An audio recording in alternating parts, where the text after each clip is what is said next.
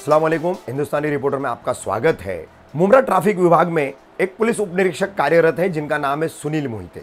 Sub inspector Sunil Mohite. Sunil Mohite ज़्यादातर कल्याण फाटा परिसर में अक्सर ड्यूटी करते नज़र आते हैं। हमने और कई लोगों ने सुनील मोहिते, जो कि ट्रैफ़िक विभाग के पुलिस उप निरीक्षक है, इनके बारे में इतनी शिकायतें सुनी कि लोगों से अभद्र व्यवहार करना, मारपीट करना इसी तरह का एक मामला सामने आया है। गत 15 फरवरी को मोटरसाइकिल पर बगैर हेलमेट के जाते हुए मोटरसाइकिल सवार फिरोज अहमद को उन्होंने रोका और कहा कि हेलमेट नहीं है, तुमको चालान भरना पड़ेगा, या तो मुझे फिर उसके एवज में पैसे देने पड़ेंगे। हज़ार रुपए दो, या तो पाँच सौ रुपए दो। तो फिरोज अहमद के दोस्त मुजीबुर रहमान उनके साथ बैठे हुए थे, उन्होंने साफ़ मना कर दिया। कहा कि साहब, जो कानूनन चालान बनता है, वो चालान आप लीजिए, वो काटिए, वो फाइन हम भरेंगे, और आपको उसका फाइन का पैसा हम देंगे। उन्होंने लाइसेंस जमा कराया और चालान की रसीद ली और कहा कि हम पैसा लेकर के आते हैं, भरेंगे और अपना लाइसेंस लेकर के जाएँगे।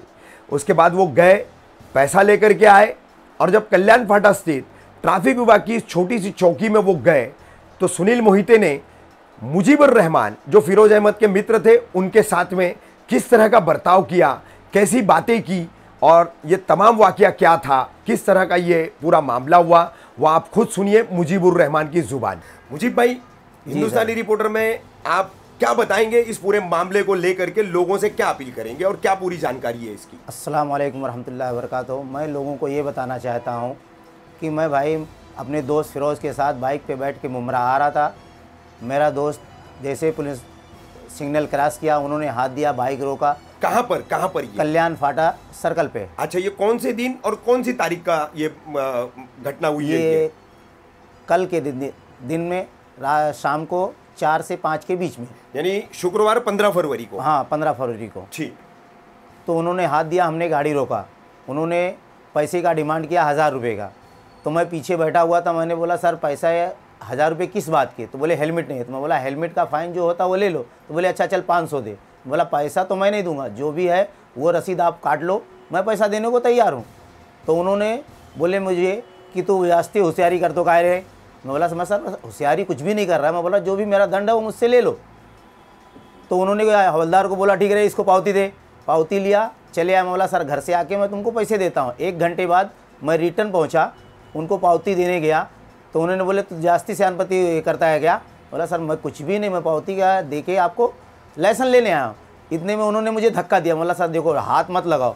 फिर उन्होंने बोला, तू क्या कर लेगा रे? सीधा मुझे गला पकड़ के टक्कर मारा। पीछे एक टेंपू खड़ी हुई थी, टक्कर दो तीन बार उन्होंने मेरा गला पकड़ के टक्कर मारा। उसके बाद मेरा हाथ पकड़ के मैं बोला, सर, देखो, मेरा हाथ इंजर्ड है, मुझे दर्द हो रहा है। मेरा हाथ पकड़ के घसीट के अपने केबिन में ले गए और वहाँ घूसों से मारना चालू कर दिया। मेरे सर पे मारे, पीठ पे मारे, गला दबाए, लात से भी मारे और उसके बाद बोले, ज़मीन पे बैठ। मैं बोलता, ना तो ज़मीन पे बैठ, चप्पल उतार के ज़मीन पे बैठ। बोला, सर, ऐसा क्यों कर रहे हैं मेरे साथ? मेरा गला सूखा जा रहा है, मैं एकदम मैं घबरा गया एकदम मेरा ब्लड प्रेशर हाई हो गया। फिर वो बाहर निकल गए मुझे मार के। दस मिनट के बाद बोलते आके सीधा घर को जाना। तो मैं सीधा घर को ना जाके मैं सीधा पुलिस स्टेशन पहुँचा। कौन से पुलिस स्टेशन डाई घर पुलिस स्टेशन पहुँचा। उस एनसी लिखाने वो लोग एनसी लिखने से इनकार कर दिए। उसके बाद फिर मैं उधर के एक इंस्पेक्टर से मिला जिनका नाम है कुछ पाटिल सर था। पाटिल सर ने बोले अच्छा मैं लिखता हूँ तुम्हारा एनसी बात क्या हुआ? मैंने उनको सारा वाक़या बताया। फिर उतने में सुनील मोहिते सर आ गए, उनके केबिन ने मुझे गाली दिया, बोले, माँ, बोलता था घर पे जाएगा तो इधर कैसे आए रहे तीन सौ तिरपन में तेरे ऊपर केस डालता हूँ, तूने मेरे से बहस किया। मैंने सर, आप अपना केस दायर किया, मैंने आपसे सर के सिवा कुछ भी बात नहीं किया है। तो बोलते, मैं तेरे को अभी अटकाएगा, देखता हूँ तू इस रोड से कैसे आता जाता है। मैं तुझे धंधा करने नहीं दूँगा। बोला, सर, मैं अपनी हक की बात कर रहा हूँ, मैं आपसे ना तो कोई दुश्मनी निकाल रहा हूँ, ना मैं ना मेरा कोई आपसे जाति दुश्मनी है। तो बोलते हैं नहीं नहीं तू जास्ती होशियारी करता है। बोला सर मैं कुछ भी होशियार लास्ट में उन्होंने एनसी नहीं लिया। आज दोपहर में मैं जाके एनसी देने को गया आज भी मुझसे एनसी नहीं लिया गया। बाद में मैंने वकील साहब के थ्रू अप्लीकेशन लिखा अप्लीकेशन ला के कमिश्नर के ऑफ़िस में दिया वहाँ से फिर एक अप्लीकेशन कौन से कमिश्नर के ऑफ़िस में? बेलापुर कमिश्नर ऑफ़िस में मैंने दिया वहाँ से फिर दूसरी कॉपी ला के मैंने डाईघर पुलिस चौकी में एक अप्लीकेशन दिया उनको। अभी कल मैं बाकी आगे कार्रवाई थाना एसीपी डीसीपी को देने वाला हूँ। वो दे के फिर मैं आरटीओ के एक साहब को भी एक लेटर दूँगा वही एनसी जो भी मैंने लिखाया है।